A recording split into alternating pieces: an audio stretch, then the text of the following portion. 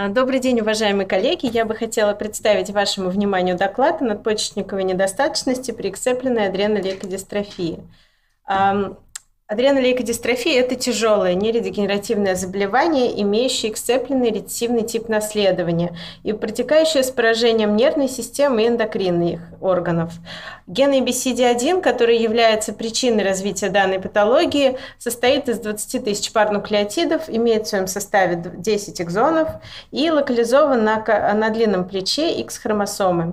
А, этот ген отвечает за работу трансмембранного белка-переносчика, а, относящегося относится к семейству ABC э, транспортеров, э, семейству D1. Он служит для перенос, э, переноса жирных кислот с очень длинной цепью на внутреннюю мембрану пероксисом для последующего их бета-окисления.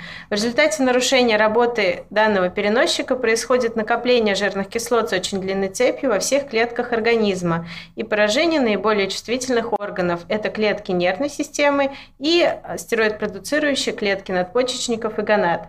Тяжесть и высокая летальность а, адренолейкодистрофии обусловлена поражением нервной системы. А, но, однако, надпочечниковая недостаточность также является жизнеугрожающим состоянием, которое требует своевременной диагностики и назначения адекватной заместительной терапии. Патогенез надпочечниковой недостаточности а, составляет э, три параллельно происходящих процесса. Первым и основным является поражение пучковой и сетчатой зон э, надпочечников вследствие накопления жирных кислот стероид-продуцирующими клетками и их токсического воздействия на эти клетки. Э, данный процесс обуславливает этапность и постепенность развития надпочечниковой недостаточности. Сначала с поражением пучковой и сетчатой зон, ответственных за синтез кортизола и надпочечниковых, надпочечниковых андрогенов, и с дальнейшим переходом процесса на клубочковую зону, ответственную за синтез альдостерона. Вторым процессом является встраивание жирных кислот в мембраны стероид-продуцирующих клеток, что снижает ответ клеток на стимуляцию адренокортикотропным гормоном. И третьим процессом является уменьшение э, свободного холестерина, который э, клетка используют для стероидогенеза. И э, таким образом э, в совокупности все три процесса приводят к снижению гормонов коры надпочечников и приводят к развитию э, клинических симптомов надпочечниковой недостаточности. Надпочечниковая недостаточность при адренолейкодистрофии, как я уже сказала ранее, имеет этапное развитие, в некоторых случаях быстрое, а, и мы не успеваем засечь этап изолированной глюкокортикоидной недостаточности, но а, также для нее характерно медленное развитие, когда у пациента может долго существовать изолированный глюкокортикоидный дефицит и последующее присоединение минерал-кортикоидного дефицита. А симптомы надпочечниковой недостаточности при адренолейкодистрофии достаточно типичные и а, складываются из э, симптомов глюкокортикоидной и минерал-кортикоидной недостаточности. Для них а, характерно для, в клинике надпочечниковой недостаточности характерен гиперпигментация кожных покровов с, с сгущением над крупными суставами и в местах естественных складках, наружных половых органов – Выраженная слабость и утомляемость, задержка физического развития, гипогликемические состояния. При присоединении минерал-кортикоидного дефицита у пациентов может возникать тошнота с повторной рвотой, тяга к соленой пище, гипотония. И если данное состояние э, не диагностировать вовремя, возникает развитие жизнеугрожающего состояния, которое принято называть сультеряющим кризом. На лабораторной диагностике позвольте мне не останавливаться. Ее очень подробно доложила Анна Александровна Колодкина в своей, а, в своей маленькой лекции. А также э, дефицит э, гормонов сетчатой зоны коры надпочечников э, приводит к частичной потере полового и аксиллярного волосения после наступления адренархии у данных пациентов. Надпочечниковая недостаточность при адренолейкодистрофии чаще манифестирует в возрасте старше трех лет – Э, на первой декаде жизни пациента. Однако по данным литературы и по данным наших исследований, э, есть случаи манифестации ее до трехлетнего возраста. И э, сама надпочечниковая недостаточность, изолированная как форма адренолейкодистрофии, является в большинстве является диагнозом исключения, и ее состояние как э, формы адренолейкодистрофии является дискутабельным вследствие а, поражения, э, вследствие прогрессирующего характера адренолейкодистрофии. Также выделяют две формы клинические XLD. Это церебральная форма, которая имеет чаще всего быстро прогрессирующее течение с развитием летального исхода. Она может возникнуть в любом возрасте, но чаще всего происходит э, у, у детей в возрасте 60 лет.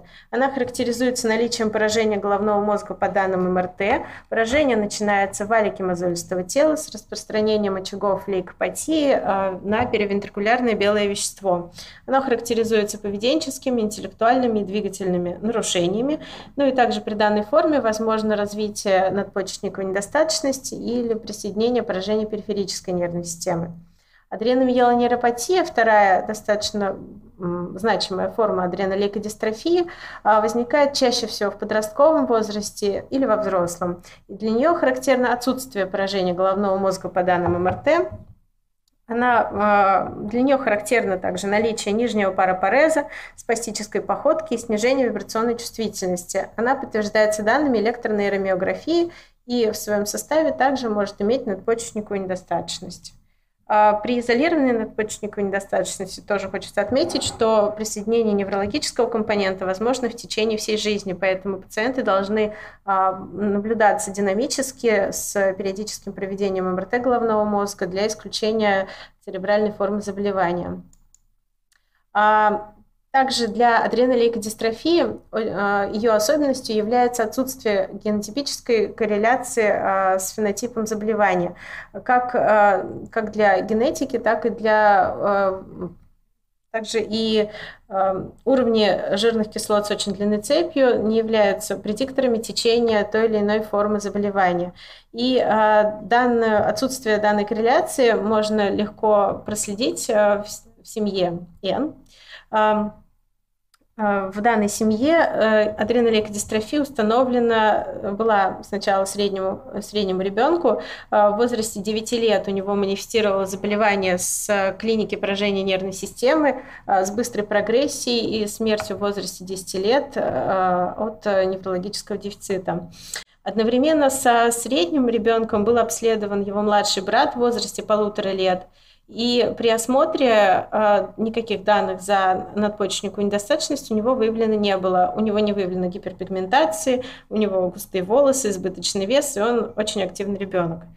Однако по данным обследования ему была установлена надпочечниковая недостаточность и инициирована заместительная терапия глюкокортикоидами. Спустя примерно два года в терапию добавлены минерал-кортикоиды, и в настоящее время ребенок находится на динамическом наблюдении, и МРТ, а, ему, по данным МРТ, у него отмечается отсутствие какой-либо патологии. Таким образом, а, форма адренолейкодистрофии у него звучит как изолированная надпочечниковая недостаточность.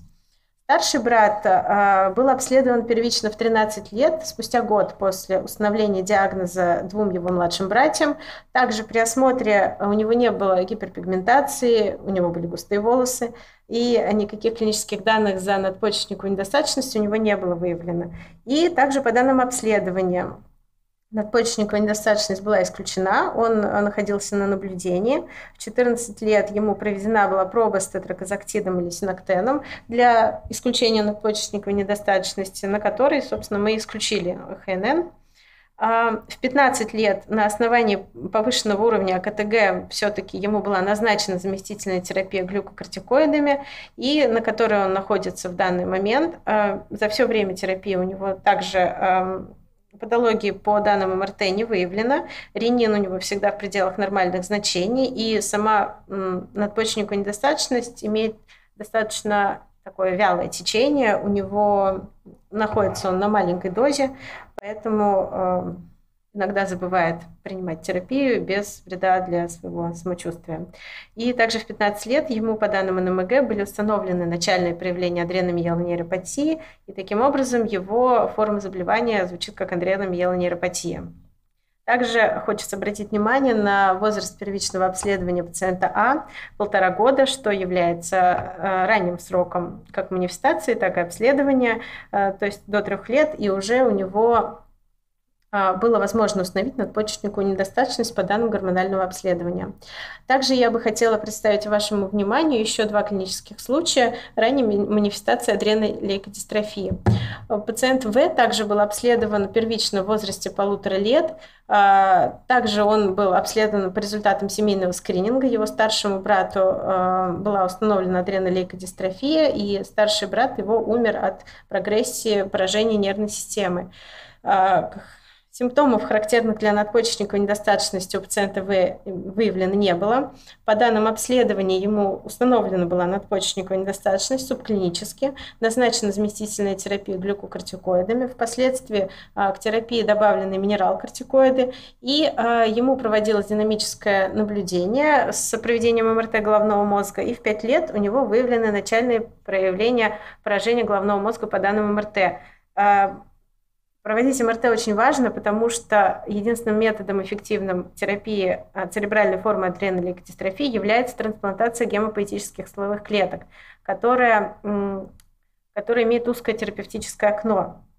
То есть ее можно проводить только при наличии начальных проявлений по данным МРТ, и уже а, не имеет смысла ее проводить при а, длительно существующем либо клинически очень выраженных симптомах и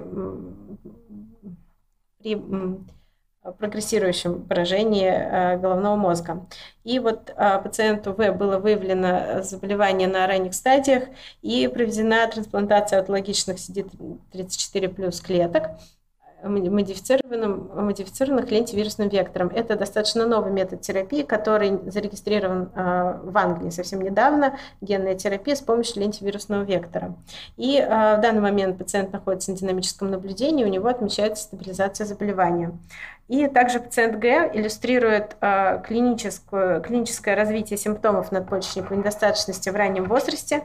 Э, первично он был обследован в 4,5 года, однако симптомы надпочечниковой недостаточности у него проявлялись уже с двух лет. Его беспокоили частые вирусные заболевания, которые сопровождались выраженными гипогликемическими состояниями до 1 э, миллимоля глюкозы в крови. А также у него отмечалась гиперпигментация кожных покровов. Ну, по данным обследования, ему была установлена надпочечниковая недостаточность и а, инициирована заместительная глюкокортикоидная терапия. А, в 4 года 8 месяцев ему добавлена минерал-кортикоидная терапия на основании клинической картины сультеряющего криза. Однако, по данным медицинской документации, это все было сделано по месту жительства по данной медицинской документации у нас нет а, показателей ренина, либо электролитов крови, потому что кровь была взята после инъекции сулкартефа. А, у пациента Г также МРТ головного мозга за весь период заболевания без патологии, ему сейчас 5 лет, и он также находится на динамическом наблюдении. Спасибо за внимание. Уважаемые коллеги, уважаемая Софья Рустемовна, большое спасибо за ваше за ваше сообщение. Э, в принципе, на этом э, наши доклады, э, можно сказать, завершены. Я хотела бы обобщить, что сегодня мы посмотрели на, на патологию надпочечников, наследственную патологию надпочечников, особенно коры надпочечников со всех сторон, хотя фигурировала и медула, мозговое вещество да, в составе синдрома Фанхипеля-Линдау. Хотела бы обратить внимание ваше на то, что это все было, по сути, первичная надпочечниковая недостаточность, то есть поражен сам а, орган по причине э, э, мутаций э, или, скажем так, более локализованно, точечно сам орган, сами надпочечники или в составе а, более сложных синдромов. Однако, да, повторюсь, это все первичные, первичные варианты надпочечниковой недостаточности. Итак, уважаемые коллеги, если есть у кого-нибудь вопросы, Ага, ну вот тут у нас э, вопрос один есть. Э, ДНК-диагностика в первой семье.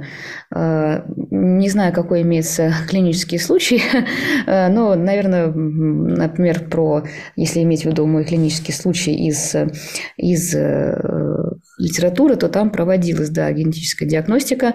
Я думаю, что везде, в принципе, где мы говорим о, о подтвержденном диагнозе, как правило, э, имела место быть э, диагностика да, мутации гена, а, так, о которых докладываем.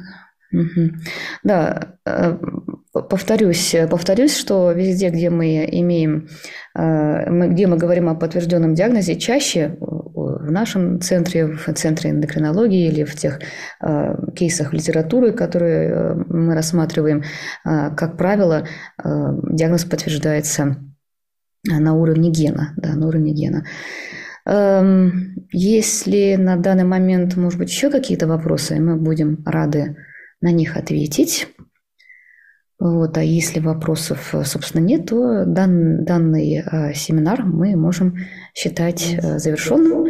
Я хочу поблагодарить всех э, коллег за ваше выступление. Э, отдельно спасибо э, Софье Рустемовне за физическое присутствие. Она э, помогла нам всем сохранить честь мундира. Э, и спасибо вам, слушателям, за то, что были сегодня с нами.